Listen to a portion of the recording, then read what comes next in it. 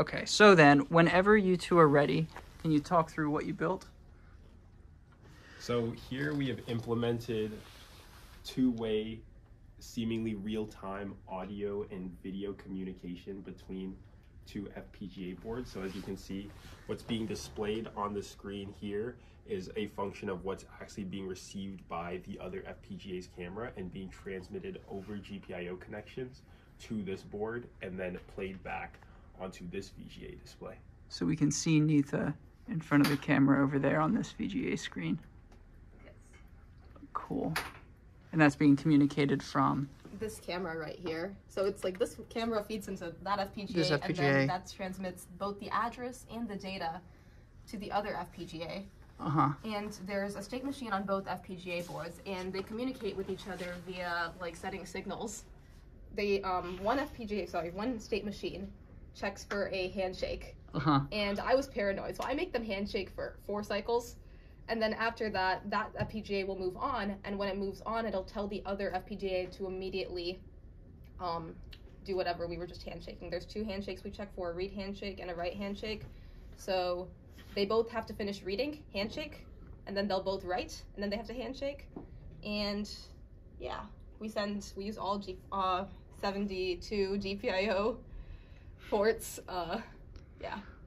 the key reason why we had to do two handshaking two handshakes as opposed to one is because in order to prevent bus hogging there is a timer implemented and the ultimate result of that is to complete the state machine it doesn't take a consistent number of cycles so it can have a variability of 32 cycles in terms of the relative duration to complete um, the state machine Okay. and that all happens in the read. So we need to make sure that because the read time can be inconsistent between the two boards, they handshake before they start writing, Okay. and also once they complete writing. So we designed the state machine so that like it would read from the camera, and it would then um like take a step. It would basically um what's the word? Iterate through each pixel of the camera, and then it ideally it would read the camera and then write.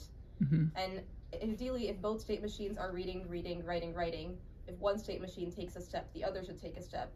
So we thought that like initially we wouldn't have to pass addresses over, and we just passed data. But then we had an indexing issue where it would like, the pixels were there, but they were like dancing across the str- screen, in like a funky, kind of like a bee, like hive or like a wasp. So some kind of a desync desynchronization. Yeah, you'd see it desynchronization, the yeah. So then we had Okay. to pass the addresses over.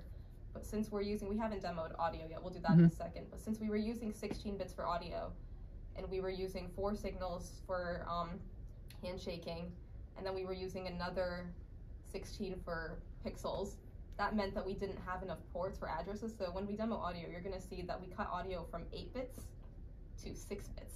Six bit audio. Yes, six bit Okay. audio. And I'm actually really grateful that we did an experiment earlier on where we tested to see how low of audio we could go because six bits is actually the lowest we could go till like the quality dropped significantly lower. Okay. So we can demo Can we hear that? Yeah. Yeah, let's do that. Well, actually, um, do you want me to speak first or? Yeah, you can go. Hello, hello. Oh, Wait, Hit key one. Like make sure that they're both enabled. Hello. Sorry about that. That's all on me. Um, so I don't know if the video can pick up the fact Yeah. that like I'm clearly yeah. Yeah, for I- sure. So you're speaking into that mic and it's coming out of. Yes, yes, yes. And if Sabian speaker. wants to do the same, like on this end, I'm, the camera's showing that end, but like I can also see, I can see Hunter filming on this end. So let's see. Can you Yeah. point your camera around? Okay, so we're hearing your voice there and seeing your camera there. And then if I walk around the bench on Nita's end, we see Fabian. Sabian's camera over there and we hear his voice. Wait, try speaking. Hello? Hello? Yeah, there we go. Awesome. And the poor quality is not a reflection of the communication protocol, it's because it's 6 bit audio. Yeah. Gotcha. So it was really crisp when it was 32 bits, but if we actually did 32 bit audio, then we'd be using 64 pins for each. Yeah. And that's like, at this point, we're using 12 for in total. So that's, yeah. Okay. 8 bit was really high quality though, but we had to make this work, so. Very, very nice. And we're just not going to say anything about this right now. But okay. It's on video. Already immortalized. awesome. Thank you both.